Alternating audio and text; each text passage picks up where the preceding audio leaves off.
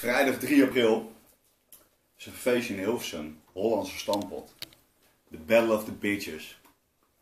Vier bloedmooie wijven komen snoeiharde hardcore draaien.